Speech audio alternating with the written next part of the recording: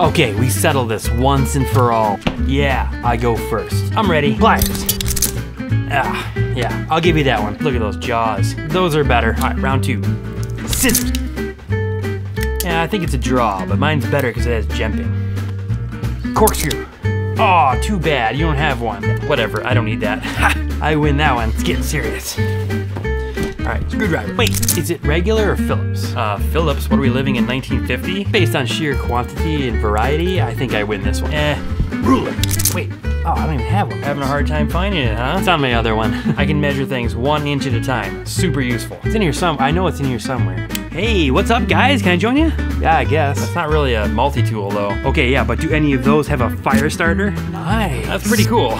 I think I clearly won. Are you kidding me? Have you seen this thing? You're gonna lose that thing right away in the woods if you drop it. It's like silver. It's like super bright. You're never gonna lose I have This is why you can't have nice things.